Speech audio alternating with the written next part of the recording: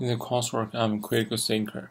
When I encounter with problems, I always form my own reasonable point of view, and I'm also willing to engage and learn from my classmates in a cooperative way.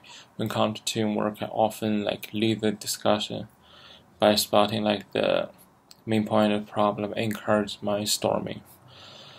And beyond the coursework, I'm more than willing to connect with other people around me and we establish good relationship with many of my classmates. I'm also willing to help people around, both like academically and on personal stuff.